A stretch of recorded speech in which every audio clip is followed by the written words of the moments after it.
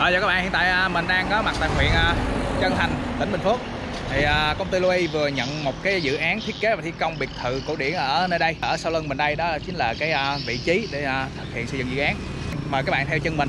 À, hôm nay là cái buổi cúng khởi công. À, xong rồi sau đó thì các anh em sẽ cho tiến hành khoan cọc nhồi ở khu vực này. À, hiện tại các em đã vào cúng bên trong rồi thì theo chân mình để coi cái quy mô của dự án này như thế nào ha.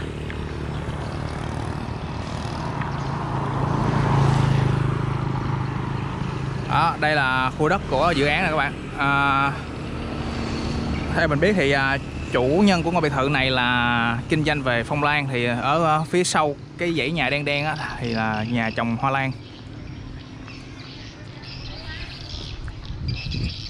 À, thì đây là một cái lối vào ở trước đây thì có một cái siêu thị ở đây siêu thị tiện lợi nhưng mà đã dỡ bỏ để xây dự án này rồi đây là cái mặt bằng của siêu thị cũ mà. Đây đã bày bàn cúng hết rồi.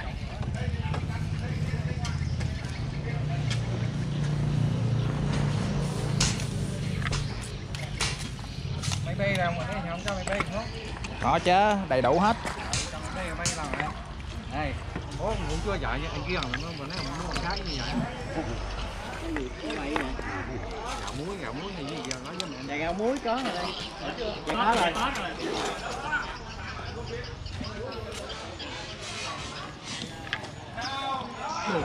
quay cái bàn cúng hả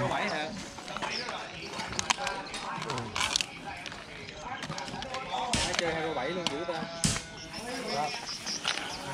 Rô bảy phải không? dạ đúng rồi Rô bảy plus này dạ rồi bảy black Dở này không? Dở Của em hay của Hân mua? dạ của anh hân. Ừ, Hân cũng chơi dữ ha.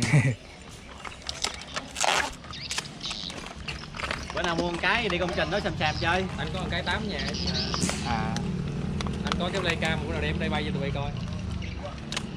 Anh mua livecam hiệu gì? Đi đi đi. À D- DJI hả? DJI Mavic 2 Pro Mix 2 hả? ồ hai luôn hả? Quá xịn rồi. Của em mới là một à. Em đang xài á con một à. Mua là cái xài không vậy? Không phải để nhà Lâu lâu bay xả biên chơi Cảnh Má không ấy nói người ta đã xài cho chứ mua được không. Đừng quá mày chơi mày xài cắm vô nhà ta Biết bay không? Trời ơi, đưa là biết hết. Đóng hai lần là biết hỏi à Cắm hay là Ê, giỏi cái vụ đó lắm đây đây là một trong những à, phần khu đất để à, xây à, dự án biệt thự ha các bạn đất rất là bự luôn. Cái này là mình phải cho máy bay bay từ trên cao thì à, mới nhìn được toàn thể tổng thể khu đất chứ đứng ở góc này là không có thấy được. Khu mé nhà bên này là để trồng lan đó, để bọc lưới trồng hoa phong lan giá trị rất là cao.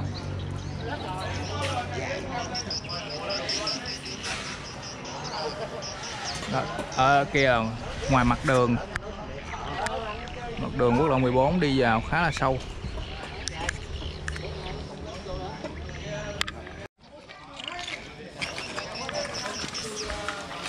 Quay cái cảnh đốt nhang coi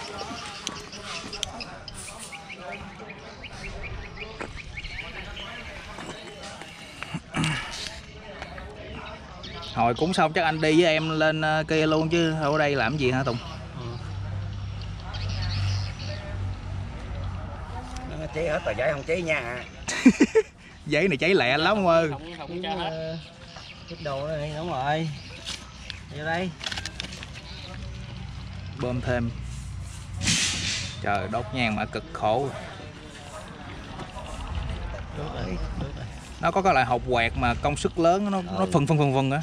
Cái đó đốt loại nhang này mới được. Còn cái này mình đốt. Không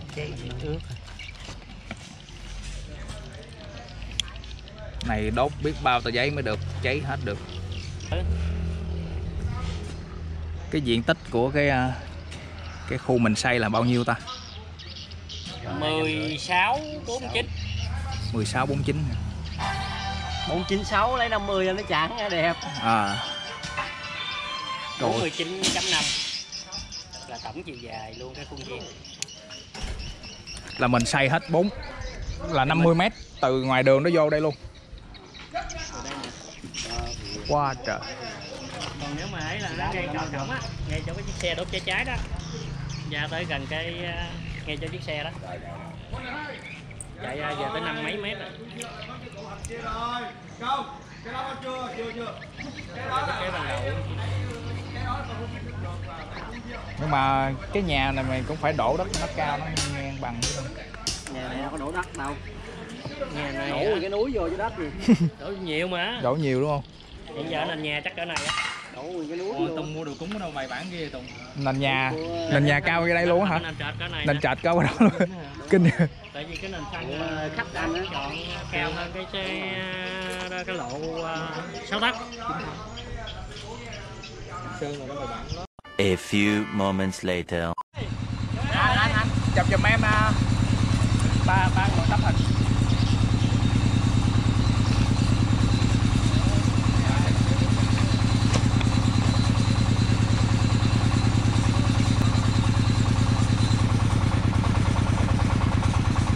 này là máy khoan á hả Chị chắc wow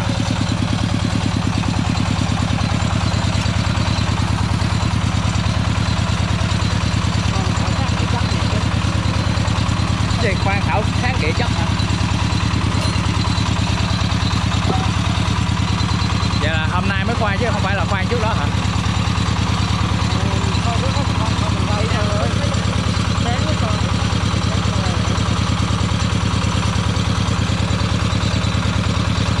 Là kiểm tra đất cứng hay mềm hay sao? Kiểm tra cái tầng đất á.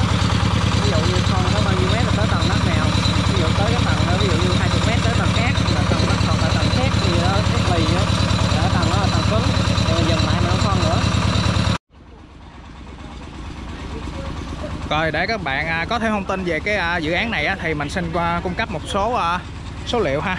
Thì cái khu đất này á theo mình mới hỏi á, là à, diện tích á, diện tích đất là 16 16 mét ngang nhân cho 50 49 mét chiều sâu thì cho chọn là 50 đi. Đó, diện tích đất rất là bự. Nhưng mà về diện tích uh, xây dựng của khu ờ, nhà ở thì uh, chỉ có ờ, 11 mét nhân cho 20 mét thôi ha các bạn. À, hiện tại thì cái phối cảnh thiết kế này đã có đăng trên cái ờ, website nhà com. Thì các bạn có thể truy cập vào để xem thêm hình ảnh về à, dự án này. À, mình đang đi xuống cái khu đất của dự án này về quy mô thì cái căn biệt thự này là quy mô 5 tầng ha 5 tầng. Quy mô là một hầm một trệt hai lầu và sân thượng.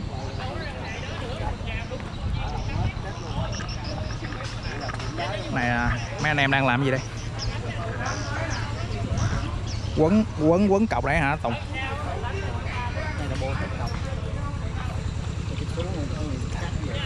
Xong rồi mới mới mới mới, mới, đổ bê tông gì vô hả? Thả cái lòng này xuống thả cái lòng này xuống đổ đổ trót bê tông trực tiếp trong trong lòng luôn.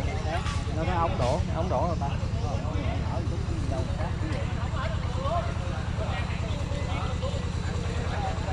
Ống đổ kia kìa mấy ống vuông vuông nhỏ nhỏ pi 90 rồi là ống đổ. Là rót bê tông trong đó. Là mình thọc cái ống ống đó xuống gần đáy bắt đầu mình rót bê tông vô rồi mình rót lần lần lên chứ phải rót từ trên rót xuống. Để nó đẩy được cái cái cái nước dơ là đẩy từ dưới đây lên. Là cái ống cái ống đó tròn tròn đó hả? Ống nhỏ trong kia. À ống nhỏ ống kia hả? Cái ống đó là cái ấy. Mình đúp cái ống đó xuống trước mới đầu khoan định vị lỗ xong đầu đút cái ống đó để nó nó, định ờ, hình sau rồi sau đó cái lỗ son sẵn á. Mình khoan lỗ nào chưa ta? Con lỗ rồi. Vét chưa anh? Lát vét? Đây để chị cho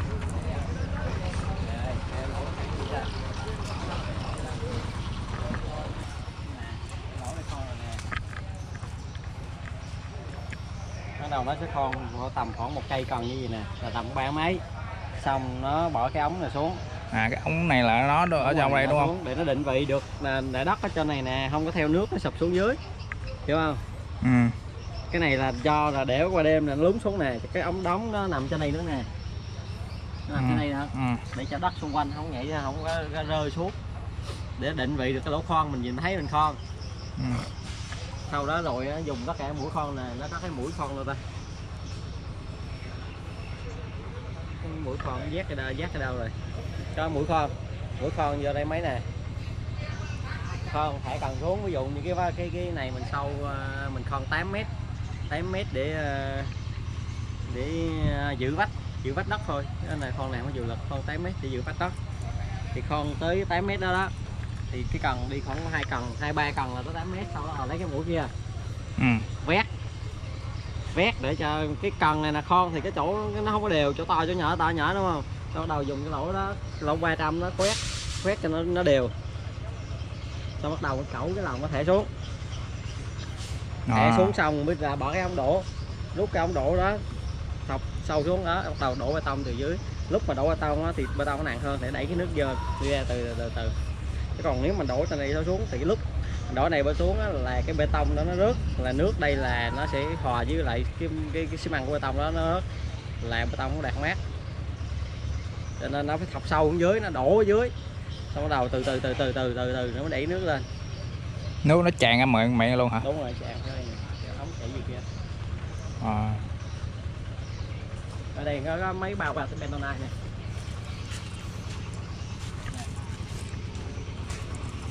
mấy cái này bao bentonite này nè là cái vật liệu để giữ cái thành.